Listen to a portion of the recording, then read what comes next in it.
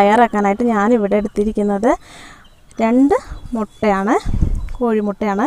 ഇതിന് നമുക്ക് നന്നായിട്ട് ഒന്ന് ഉടച്ചെടുക്കണം. അതിന് മുമ്പായിട്ട് നമുക്കിതിലേക്ക് കുറച്ച് കുരുമുളക് പൊടി ചേർത്ത് കൊടുക്കാം. നന്നായിട്ടൊന്ന് മിക്സ് ചെയ്തെടുക്കാം കുറച്ച് ഉപ്പും കൂടി നമ്മൾ ചേർത്ത് കൊടുക്കുന്നുണ്ട്.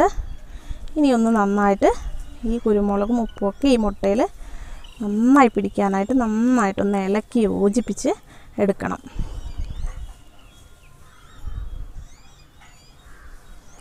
തിരക്ക് പിടിച്ച സമയങ്ങളിലൊക്കെ നമുക്ക് വളരെ എളുപ്പത്തിൽ ഉണ്ടാക്കിയെടുക്കാവുന്ന ഒന്നാണ് ഈ ഒരു ബ്രെഡ് സാൻഡ്വിച്ച്. നല്ല ടേസ്റ്റിയാണിത്. അതുപോലെ തന്നെ ഒരുപാട് സമയമൊന്നും വേണ്ട ഇത് തയ്യാറാക്കി എടുക്കാനായിട്ട്. വളരെ കുറച്ച് സമയം മാത്രം മതി. അപ്പോൾ ഇത് ഇതിൽ കൂടെ നമ്മൾ നന്നായിട്ടൊന്ന് മിക്സ് ആവാനായിട്ട് കുറച്ച് പാൽ ചേർത്ത് കൊടുക്കുകയാണ് അപ്പോൾ പാൽ ചേർത്ത് കൊടുത്ത് നമ്മൾ മിക്സ് ചെയ്യുമ്പോൾ നന്നായിട്ട് വളരെ പെട്ടെന്ന് മിക്സ് ആയി കിട്ടുകയും ചെയ്യും. നല്ലൊരു ടേസ്റ്റും ഫ്ലേവറും കിട്ടുകയും ചെയ്യും. ഇപ്പോൾ അങ്ങനെ ചെയ്യുന്നവർക്ക് അറിയാനായിട്ട് സാധിക്കും. മിൽക്ക് ചേർക്കുന്നതുകൊണ്ടുള്ള ഗുണം എന്താണെന്ന് ഇത് നന്നായിട്ടൊന്ന് ഇളക്കി യോജിപ്പിച്ച് കഴിഞ്ഞതിന് ശേഷം നമുക്ക് ഒരു പാൻ അടുപ്പിലേക്ക് വെച്ച് കൊടുത്തിട്ട് അത് ചൂടാകുമ്പോൾ ഇതിന്റെ പകുതി ഒഴിച്ചു കൊടുക്കണം. ബാക്കി പകുതി നമുക്ക് ആവശ്യമുണ്ട്. അതുകൊണ്ട് ഇതിന്റെ പകുതി ഒഴിച്ചു കൊടുത്തിട്ട് നന്നായിട്ടൊന്ന് പരത്തി വേവിച്ചെടുക്കുക. രണ്ട് സൈഡ് മറിച്ചിട്ടിട്ട് വേവിച്ചെടുക്കണം. വേവിച്ച് ചെറിയ ചെറിയ ചെറിയ കഷ്ണങ്ങളായിട്ട് നമുക്ക് കട്ട് ചെയ്തെടുക്കണം. ദേ ഞാൻ ഇവിടെ എടുത്തിട്ടുണ്ട്. അതുപോലെ എടുക്കണം. കണ്ടോ? കുഞ്ഞു കഷ്ണങ്ങളായിട്ട് കട്ട് ചെയ്തെടുത്തിരിക്കുന്നതാണിത്.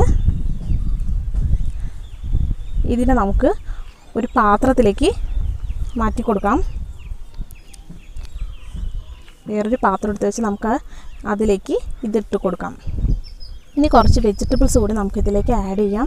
അപ്പോൾ നമുക്ക് ഇഷ്ടമുള്ള വെജിറ്റബിൾസ് ഒക്കെ ചേർക്കാം. സാധാരണ സാൻഡ്വിച്ചിലിടുന്ന അപ്പോൾ ഞാൻ എന്റെ കയ്യിലുള്ളത് മാത്രമേ ചേർക്കുന്നുള്ളൂ. ആദ്യം സവാള ചെറിയ കഷ്ണങ്ങളായിട്ട് കൊത്തി എരിഞ്ഞതാണിത് ഇനി ഇത്രയും വെജിറ്റബിൾസാണ് ഞാൻ ഇതിൽ ചേർക്കാൻ എടുത്തിരിക്കുന്നത്. ഇത് തക്കാളിയാണ്. അതിന്റെ കുരുക്കളും അതിനുള്ളിലുള്ള പൾപ്പൊക്കെ കളഞ്ഞ് കട്ട് ചെയ്തെടുത്താണ്. ഇത് ക്യാബേജാണ് പിന്നെ കുറച്ച് ക്യാരറ്റും കൂടി ഗ്രേറ്റ് ചെയ്തെടുത്തിട്ടുണ്ട്. ഇത് കൂടാതെ കുക്കുംബറോ അല്ലെങ്കിൽ ക്യാപ്സിക്കം ഒക്കെ നിങ്ങൾക്ക് എടുക്കാവുന്നതാണ്. ഇത് മൂന്നും കൂടെ നമുക്കിതിലേക്ക് ഈ മുട്ടയും സവാളയും ചേർത്ത് ഇതിലേക്ക് ഇട്ട് കൊടുക്കാം.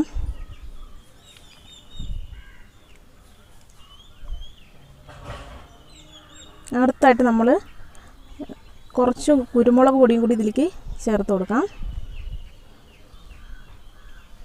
പിന്നെ ഈ വെജിറ്റബിൾസിലേക്ക് വേണ്ട ഉപ്പ്. ഉപ്പ് കുറച്ച് ചേർത്താൽ മതി. കാരണം നമ്മൾ ഈ എഗ്ഗിലേക്ക് ഉപ്പ് ചേർത്ത് വെച്ചിട്ടുണ്ട്. നേരത്തെ കുറച്ച് എഗ്ഗിന്റെ ആ ഒരു മിക്സർ മാറ്റിയും വെച്ചിട്ടുണ്ട്. ഇനി അടുത്തായിട്ട് നമ്മൾ മയണൈസാണ് ഇതിലേക്ക് ചേർത്ത് കൊടുക്കുന്നത്. ഒരു നാല് ടീസ്പൂണോളം ഞാൻ ചേർത്ത് കൊടുക്കുന്നുണ്ട്.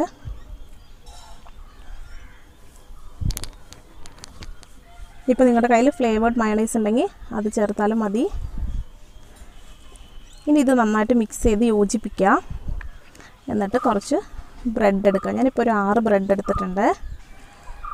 അപ്പോൾ ഈ ഒരു ഈ ആറ് ബ്രെഡിനെ നമുക്കൊന്ന് ചൂടാക്കി എടുക്കണം ഈ മിക്സർ ഞാൻ മിക്സ് ചെയ്ത് മാറ്റി വെച്ചിട്ടുണ്ട്.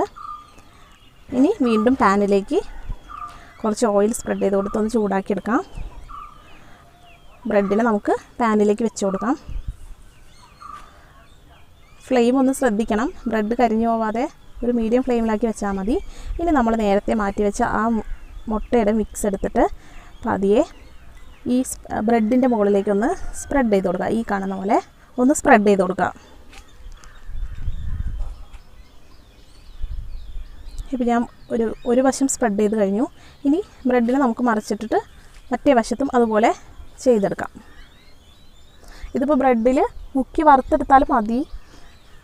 പക്ഷെ അതിലും നല്ലത് ഇതാണ്. അങ്ങനെ ആകുമ്പോൾ മുട്ടയുടെ ഭയങ്കരമായിട്ടുള്ള ടേസ്റ്റ് വരും.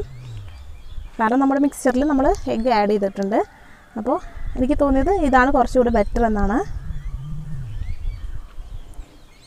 ഇതുപോലെ സ്പ്രെഡ് ചെയ്ത് കൊടുക്കുക. ഇതുപോലെ തന്നെ ബാക്കിയുള്ള മൂന്ന് ബ്രെഡും കൂടി ചെയ്തെടുക്കണം.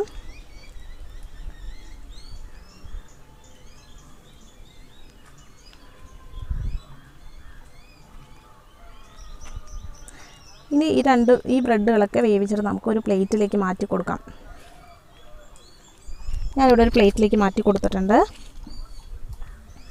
ആദ്യം മൂന്ന് ബ്രെഡ് പ്ലേറ്റിൽ വെച്ചതിന് ശേഷം നമുക്ക് ഈ ഫില്ലിങ് അതിലേക്ക് വെച്ച് കൊടുക്കാം.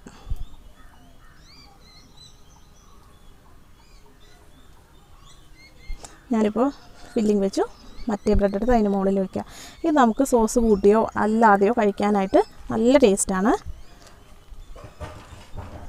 ഇപ്പോൾ കുട്ടികൾക്ക് ലഞ്ച് ബോക്സിലും സ്നാക്സിനൊക്കെ സോറി സ്നാക്സിന് കൊടുത്തയക്കാൻ ടിഫിനായിട്ട് കൊടുത്തയക്കാൻ പറ്റിയൊരു നല്ല ഐറ്റമാണത് നമുക്ക് പെട്ടെന്ന് തയ്യാറാക്കി എടുക്കാം എന്നാണ് ഇതിന്റെ ഒരു ഗുണം. ബ്രെഡ് സാൻഡ്വിച്ച് നമ്മൾ എപ്പോഴും ചെയ്യുന്നതാണ്. അപ്പോൾ സാധാരണ നമുക്ക് കടു കഴിച്ചൊക്കെ മടുത്തിട്ടുണ്ടെങ്കിൽ ഇതുപോലെ ഒന്ന് വെറൈറ്റി ആയിട്ട് ശ്രമിച്ചു നോക്കാം. അപ്പോൾ എല്ലാവർക്കും ഇത് ഇഷ്ടമായിട്ടുണ്ടെന്ന് വിശ്വസിക്കുന്നു. നിങ്ങൾക്ക് ആദ്യമായിട്ടാണ് ഈ ചാനൽ കാണുന്നതെങ്കിൽ ഒന്ന് സബ്സ്ക്രൈബ് ചെയ്തേക്കണം. അതുപോലെ ബെല്ലൈക്കൺ കൂടി ഒന്ന് അമർത്തുക. Thanks for watching my video bye